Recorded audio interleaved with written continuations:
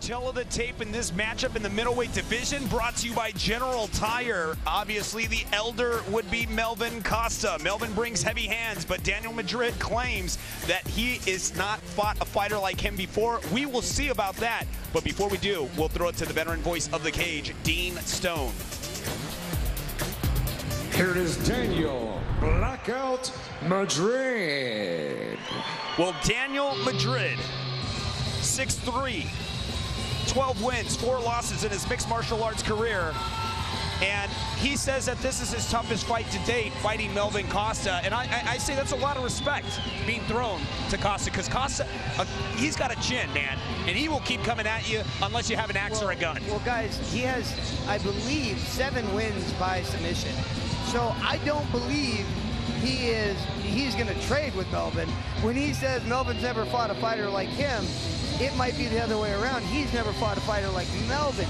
Clearly, when you win your fights on the ground, you're not your pedigree isn't on your feet. Right, but you look at his kickboxing during that uh, little interview, he's worked on that. Yeah. And some guys make a mistake when they try and go to the well with something new and get away from what they're experienced at. Very, very good point, but uh, you, you, are you telling me right now that you think he's going to try to trade with Melvin right I now? hope he doesn't, because Melvin might knock him out. Oh, my does God. that does the pride sometimes get the best of the fighter when they're like, I want to stand because I want to show everybody I Every want to stand. time, every time, Every bro. time. Are you kidding me? Yes.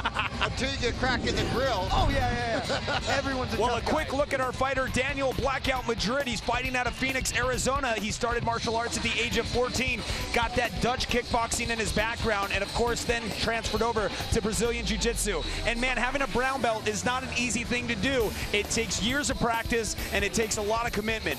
And we're, to get, go ahead and get Melvin Costa out here, we're going to go ahead and throw it to Dean Stone.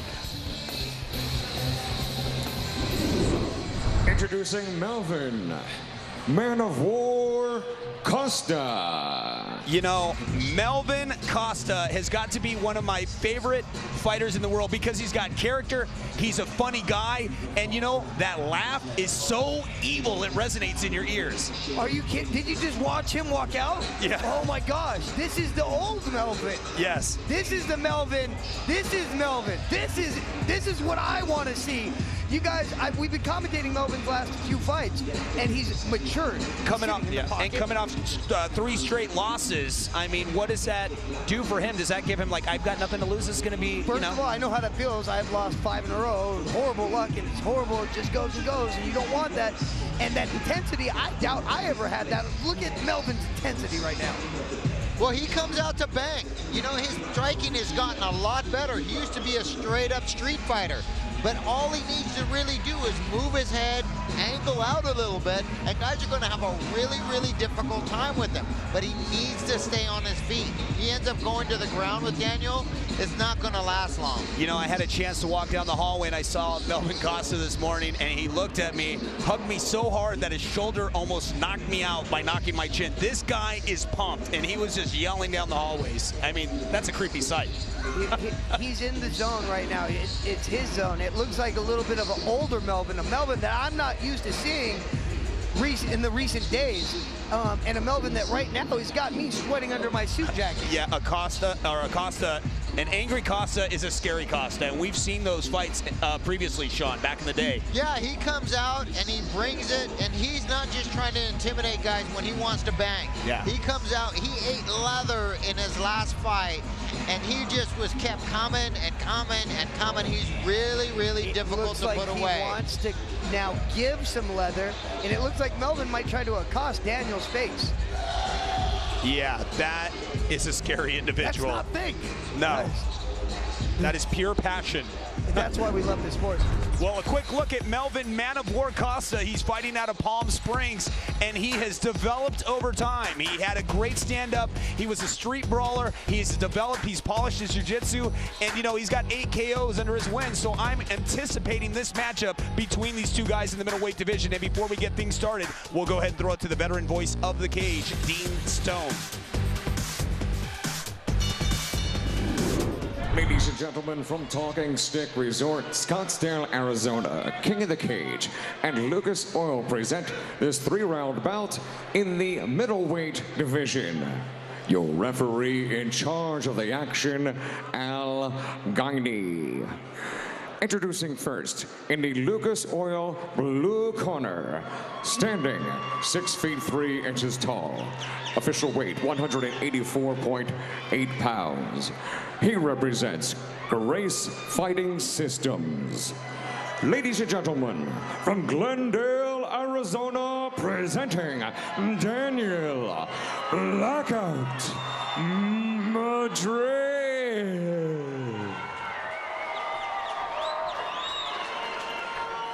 His opponent across the cage, fighting out of the Lucas Oil red corner, stands at six feet tall. Official weight 183.7 pounds. He represents hand to hand MMA and Palm Springs Brazilian Jiu Jitsu. Ladies and gentlemen, from Yucca Valley, California, presenting Melvin, Man of War, Costa.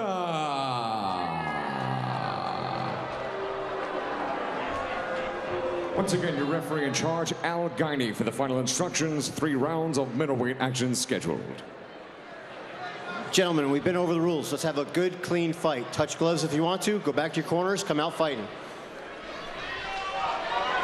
And here we go. This matchup scheduled for three five-minute rounds in the middleweight division. Melvin, Man of War Costa, gets set to take on Daniel Blackout Madrid. Here we go, guys. Do not close your eyes. Do not go to the bathroom right now, guys. I know it's been a great fight, and uh, great night of fights, um, but it's not going to slow down right now.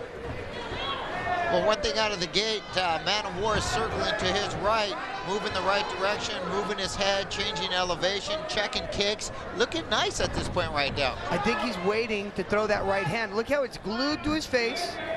He's he, he's getting the zone. Daniel, there's no there's no question that Daniel wants to close the gap and get a hold. He's going to stay on the outside, and make Melvin overcommit, and then when he overcommits, he's going to jump back in, I think, and initiate the grappling. I have to say that over the years, Melvin Costa has really polished his boxing skills a lot cleaner as the years have gone by, and that's what makes him such a dangerous opponent. You notice how both of these fighters are in a lull position where they're both jumping into their to their attacks. Right, and that leg kick just hurt Melvin Costa, though. You can't take too many of those. This this fight is going to be ended, and you cannot really turn away from this fight. Both of these fighters right now, you have the ability to finish this fight on the ground and on its feet at any time. And a nice kick delivered to the dome of Melvin Costa by Madrid. I'm not a big fan of leading with a with a roundhouse. I think you got to set it up with your hands first, um, because it can get you caught with like an overhand right, which um, I would not be surprised if either one of these guys threw an overhand right to counter that inside leg kick. Well, Melvin Costa with three or four wicked inside leg kicks. Ooh. And that one was checked nicely by uh, Daniel Madrid. After you get a couple couple leg kicks in, I think you can start feigning them, doing the Supermans, doing the the uh, the switch kick to the right hand, things like that. Really, it's all about disorientating your opponent, not letting him know what you're going to do. Look at that nice little double jab to get in there. Um, Melvin's giving up reach, clearly. We can see this right now. He's giving up reach, but the way he's over uh, he's compensating with that is doubling up with his jab. You'll notice when, when he doesn't lead with a kick, he'll double up with that jab so he can get a little closer. And shortly after that, we're going to see right hand. Yeah, Melvin looking good, getting more and more comfortable, but he needs to get those hands up, let me tell you, because you don't want to mess around with Daniel Madrid. I don't know. Oh, that's humbling right there. Mm, yeah, being spun around, but Melvin's got so much, um, I think, adrenaline going through him right now over everything that's gone. Oh, nice. Oh, right. rocks him a bit, but Melvin Oh. Costa turns it up, and Madrid takes it to the ground with a nice slam. Now, Melvin is able to get back to his feet, it looks almost. He, he did a great job of not staying down. Now spin out and try to get to the cage. Well, Melvin was really hurt by that straight right, boy. I'll tell you what, he had his hands down and ate a monster straight right by Daniel Madrid.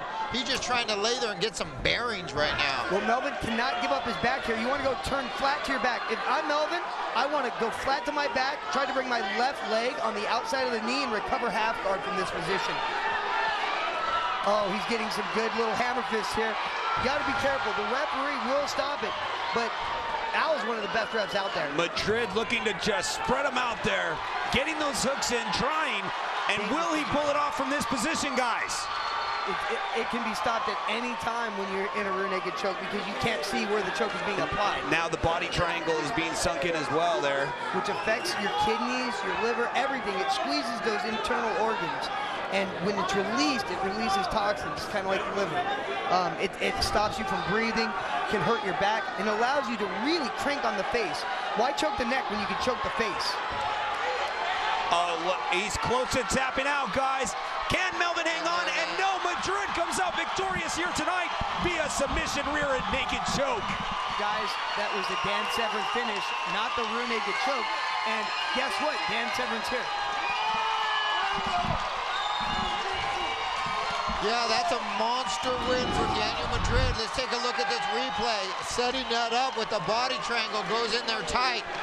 Really restricting the breathing of Melvin Acosta, who is not even recovered at this point right now. Just waiting him out. That's the experience of a legitimate brown belt. Daniel Madrid just softening him up, knowing that Melvin Acosta's hurt. Cinching that in, getting tighter and tighter. And it's just a matter of time. And right there, just taps the Dan Severn choke. And and how honorable is that that Dan Severn is here tonight, being able to witness that? Yeah, that's incredible. You know, he brought so much to this sport, and it, it seems like it's been a long time since he's fought, but guys are still using his maneuvers Yeah, to you know, finish fights. The godfather of ground and pound is in the house tonight. And of course, all the fans are smothering him and loving him. How can you not? He's such a great guy. That's absolutely true. I'll tell you what, this was a great fight. These guys were battling back and forth with some really polished kickboxing. Melvin Costa let his hands down for one minute and ate a monster straight right, which completely changed this fight. Oh, obviously Melvin Costa just a little disappointed, but we're gonna go ahead and throw it to the cage to Dean Stone.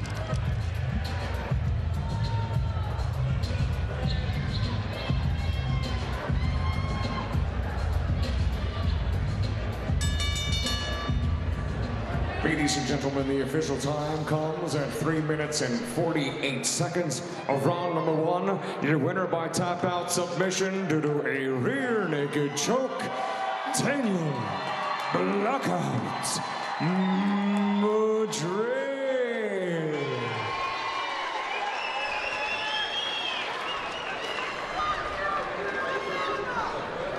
Daniel, um, what a great fight. I'm going to tell you something. Rarely do we get a chance to finish a fight with a submission where the guy is sitting. That was a Dan Severn finish to the before transition. He tapped to the Dan Severn. Um, what? you- that was awesome because he's right there. Thank you, I appreciate it. Uh, he's been one of my idols for a long time, um, along with the other greats, like uh, the greats like Royce Gracie and whatnot. So it's a pleasure to get him to watch me fight, and I thank you. Now, now, the Dan Severn choke isn't isn't the RNC where you have the control of the bicep. It's where you control underneath and you're choking. Were you? Did you think you were going to have to transition to the RNC, or did you know you had it? No, for a second I did think I was gonna have to transition to it. Uh, I had that gable grip in the tight. I knew it was underneath his throat. Um, he was he was surviving it for a couple seconds, so I was like, shit, I gotta switch over. And then I just hit my hip, and he was just there. So. Okay. Well, guys, I'm going to send it back here to Steve. Thanks. Great fight today, guys. Thank you, sir. Can I say a couple words? Real quick, big shout out to my sponsors, Dream Team MMA, Beach Club Cantina, Buff Girl Problems, Grace Fighting Systems, and Novel today. Thank you very much.